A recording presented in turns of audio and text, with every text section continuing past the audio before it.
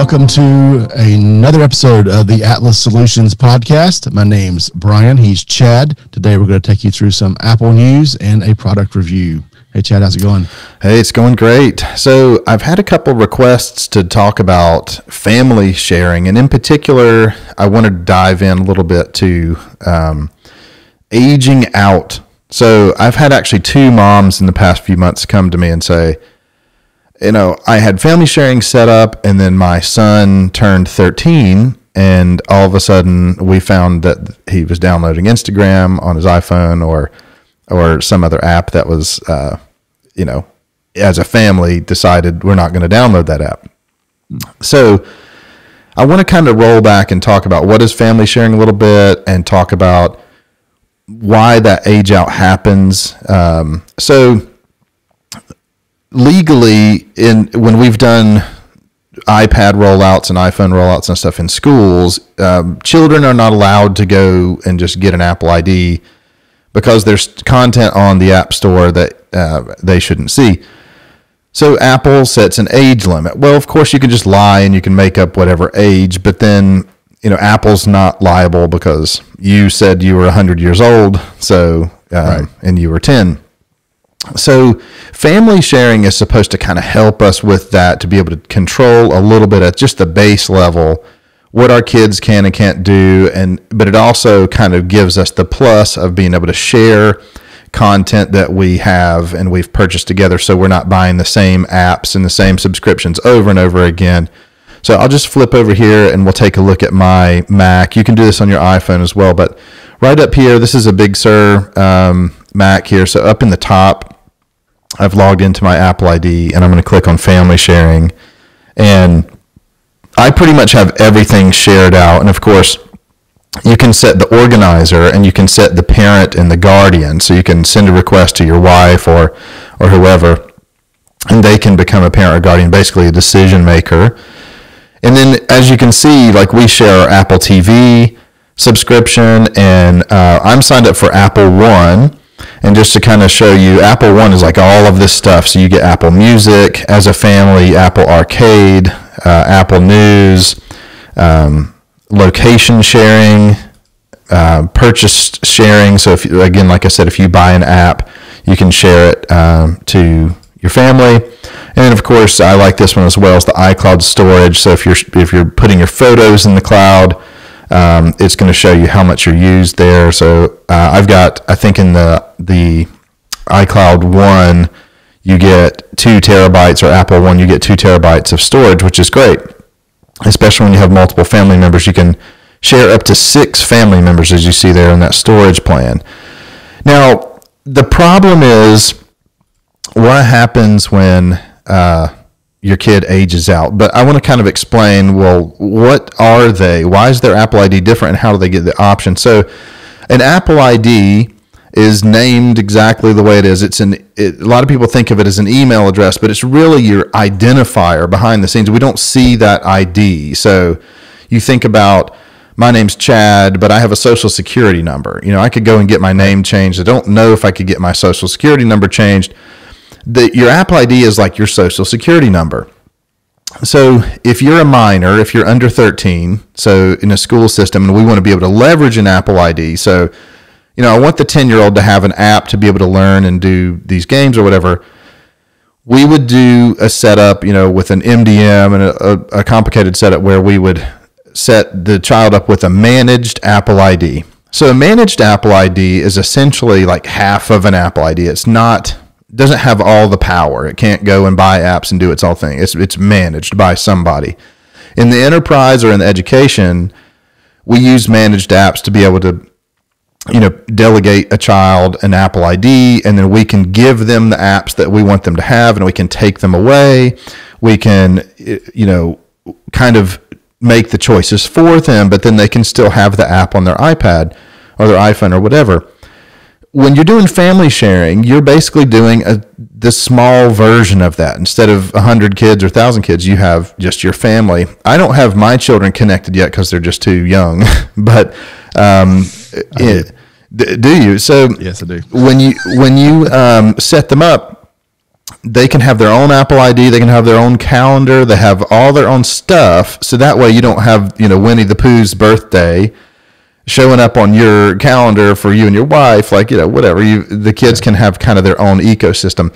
But you've got control. You can do the purchasing for them. You can do uh, you know, I want to buy this app, Dad. Okay, well, let me take a look at it first, and then you can select to buy it for them and, and that sort of thing. So you kind of have like where we would roll out all these tools to manage a school um, or you know an enterprise environment. You have the same environment, but it's just a small family. So, so Brian, what's kind of your experience? You've got family sharing turned on. What's it? Uh, how's it helped or harmed your family so far? Um, I'd say family sharing has been, you know, and my kids are also very young, but they're using old devices, and that's how we're managing life in the pandemic a little bit. Is you know they'll get a little screen time in the afternoon or whatever Yeah. on some iPads. Um, but what what I've noticed, you know, they're and they're you know they're four and seven, so they're little. You know, they're pre- still pretty young. Yeah. But the they still have to ask permission for everything at this age Sure. you know, um, and you know, the I think the greatest thing in this family sharing ecosystem is the screen time settings. Yep. Because you know, you talked about as you age out or get older, you can um, get access to more apps. The screen time functionality has to become your parenting tool. I think at that point, because up to up until eighteen, you can still say, "Well, maybe I don't want you to have Instagram, so I'm gonna, I can still block it from being used. You can go download it, but you don't get more than 10 minutes a day or something like that. You can, you have some control there. Uh, so it's been interesting, you know, and the kids will, you know, and I give them about two hours a day, or it depends on what I'm using for school. So she gets a little Yeah. extra. You can be very granular there with how that's, um, what, what they get, I guess. For sure. And I think this is the beginning of the way these tools are going to work out. Uh, in last week's podcast, we talked about the Facebook privacy and Apple, and you know, these are crazy times. We don't know what information these companies have on us. We don't know who's talking to our kids. I mean, I know um, there's attempts from all sides to try to try to integrate children into the technology, and I think it's good, but we still need to kind of monitor it a little bit. And this gives us a little bit of control over how much time, what apps they get, are they appropriate. Um, it's still not quite there though. You know, there's still like with Facebook Messenger for kids, they can kind of chat with their friends, but you can't really, as a parent, kind of look and see what they're talking about. And and it get you know, there's debates on that. People say let them do whatever they're going to do it anyway. There's people that want to hold them back and restrict them so hard that they go totally crazy when they get let loose you know, again, um, one of the experiences that I've heard from parents is, uh, especially for boys, they turn 13 and they don't come and ask for Instagram. They just download it and they start, Right. you know.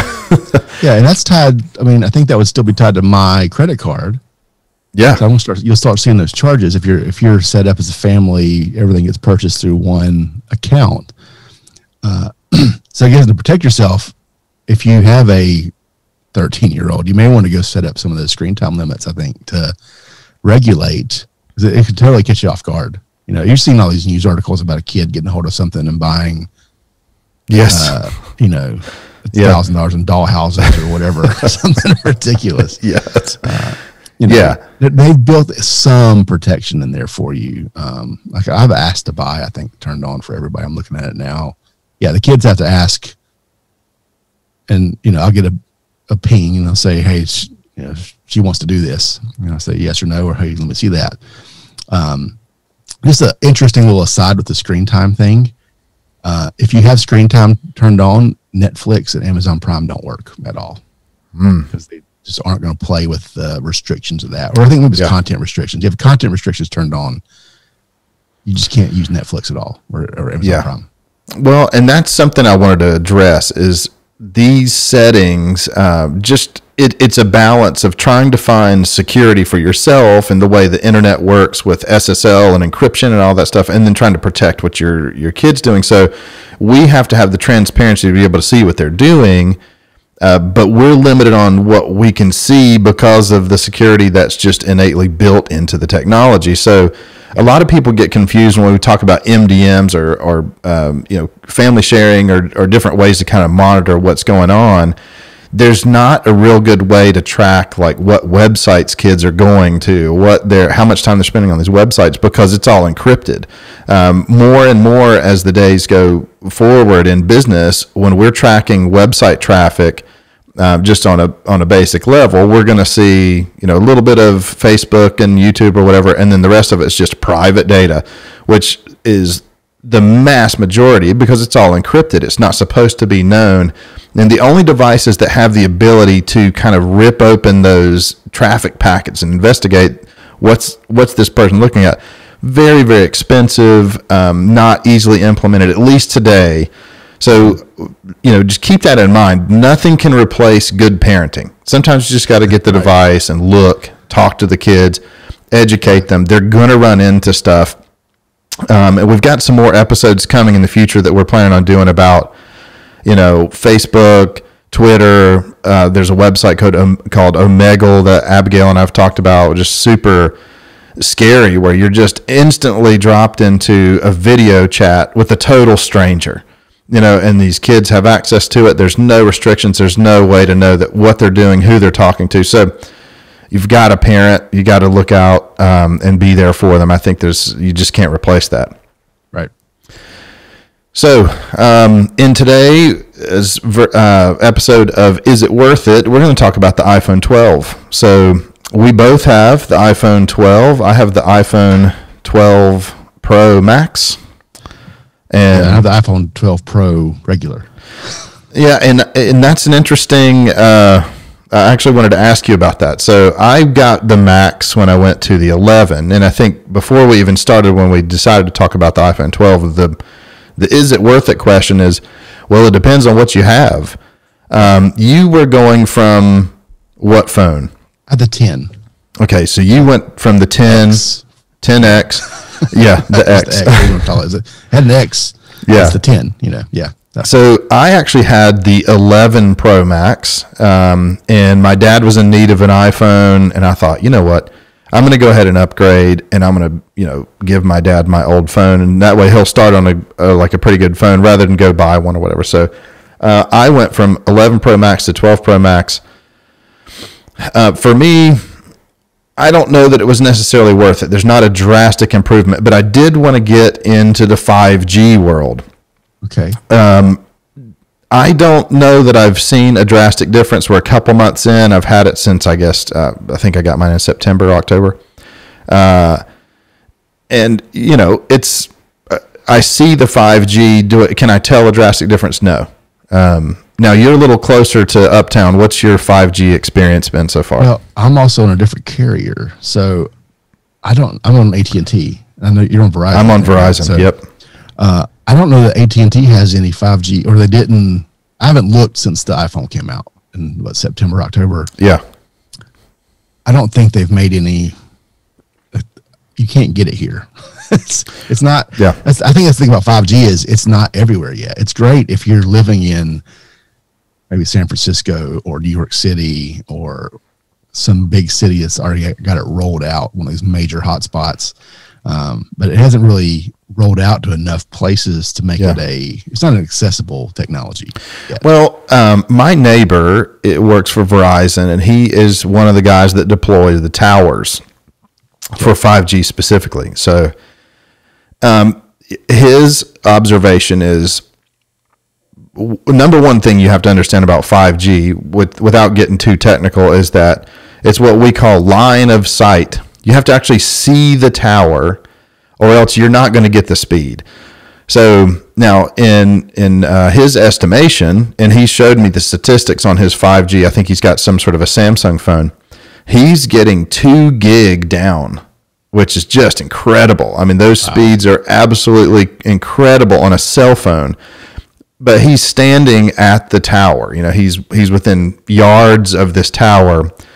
So unlike kind of the cell signal that we currently have 4G and even 3G, we're talking exponential changes in speed. So, uh, 2G speeds back in the original iPhone days was 0.1 megabit per second, which, if you don't know what that means, it's really slow. It's basically doesn't work. Yeah. 3G That's what it is. Yeah, it, it- 3G is the equivalent of about 8 megabit per second. So in your kind of regular internet terms, that's not great internet. That's like really slow DSL. Bad DSL. It's bad DSL. Now, when we talk about 4G, which is what the world has kind of been on for the past several years, we're talking up to 60 megabits. So you go from 8 to 60, um, and that's like a pretty pretty nice jump. But when you go from 4G to 5G, it's from maximum 60 to a 1,000. So it's literally exponential. And again, from what my neighbor's saying, you can even get double that. He's on some, in perfect circumstance, you're going to get two gigabit per second. Um, what that's going to do is it's going to allow phones and computers to be able to download extremely large content, higher quality video, whatever, at a faster speed in the future. But we physically have to build that out before it's ever going to be worthwhile to your common person. So, Right. is the iPhone 12 worth it? I think uh, I hate to say it, but it depends. It does depend again.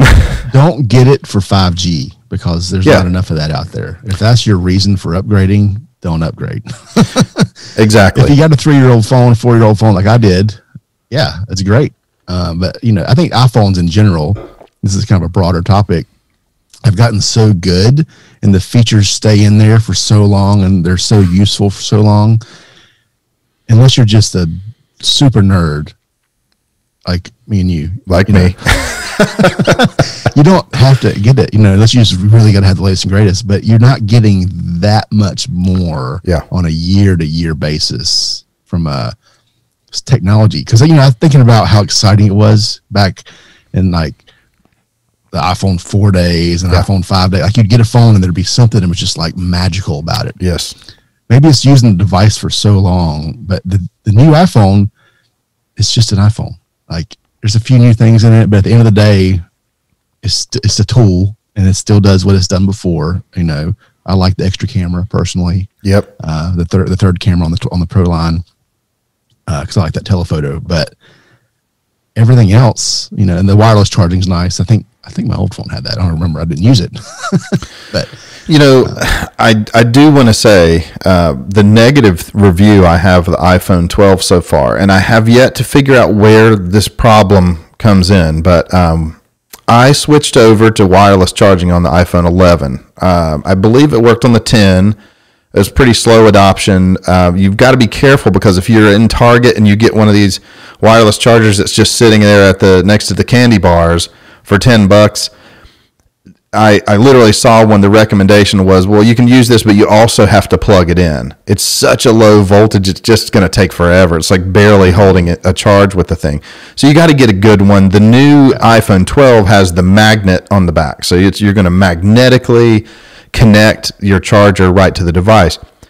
But, you know, I may need to do another review of this, but I have the Hard Cider Labs um, charging pad that does the uh, Apple Watch and the phone. You can actually do two phones and the Apple Watch and your AirPods, whatever. Great concept.